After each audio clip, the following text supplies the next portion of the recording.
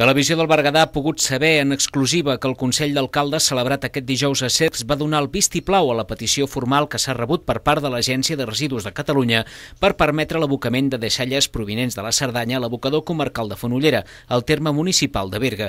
La demanda obeeix a la negativa del govern andorrà a permetre l'entrada de camions de brossa per tancaments tècnics de la planta incineradora i per restriccions puntuals de trànsit.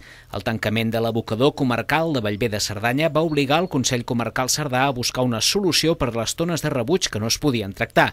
Des del mes de juliol que el Consell Comarcal de Cerdanya va arribar a un acord amb el govern d'Andorra pel qual les tones de rebuig es porten al forn incinerador que hi ha al país veí. Els dies que la planta incineradora no funciona i les restriccions de trànsit pel petit país han obligat el Consell Comarcal Cerdà a buscar una alternativa, que ha estat baixar el rebuig al Berguedà. El Consell d'Alcaldes va aprovar les condicions que s'imposaran a la Cerdanya per fer ús de l'abocador Berguedà. En primer lloc, un topall màxim de 2.000 tones l'any, revisable sempre que la Cerdanya, amb una de les pitjors ràtios de recollida selectiva de Catalunya, fomenti la tria i apliqui polítiques en aquesta línia. S'aplicarà una taxa de 73,55 euros per tona de rebuig provinent de la Cerdanya que entri a l'abocador de Fonollera, una taxa revisable a l'alça i que es destinarà a polítiques de sensibilització del reciclatge i la recollida de residus al Berguedà.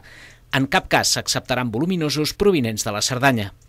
Amb aquestes condicions, els alcaldes i alcaldesses del Berguedà van donar llum verda a l'entrada de tones de rebuig provinents de la Cerdanya i que està previst comencin a arribar a principis del 2018.